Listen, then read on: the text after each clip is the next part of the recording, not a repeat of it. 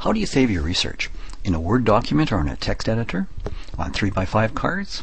On a sheet of paper? On small scraps of paper? Why not save yourself a lot of time and effort? Make it easy on yourself. Use Zotero. This tutorial will show the basic workings, then show you how to get it. It runs only on Firefox. Let's search some sources, then save them into Zotero.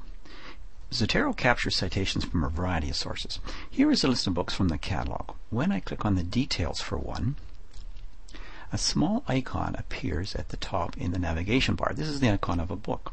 When I click that icon, a small pop-up box appears at the bottom, tells you that it's saving to your Zotero library. Here is a result list from the CBCA database.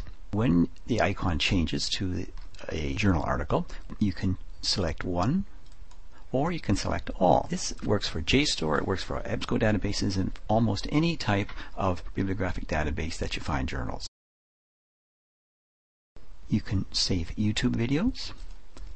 When you open a YouTube video, the icon at the top changes to a little film strip.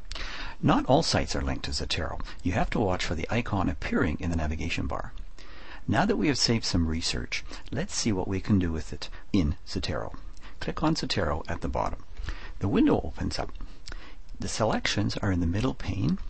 When you select, one, the details open up in the right-hand pane.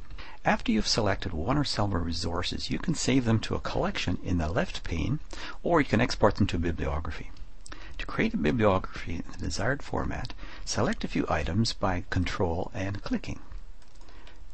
Then right mouse click and create bibliography from selected items. This is Chicago Manual of Style. I will choose American Psychological Association.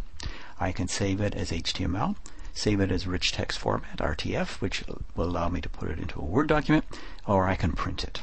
A collection stored on the hard drive of your computer.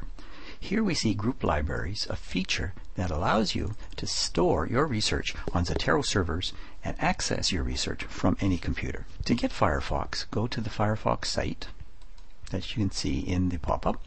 But first, you need to close Zotero. Click on the X and that gives you back your full browser window. This is the Firefox download. To go to Zotero, go to the Zotero site and download it. Look for the Zotero Groups tutorial to show how to set up collections and groups.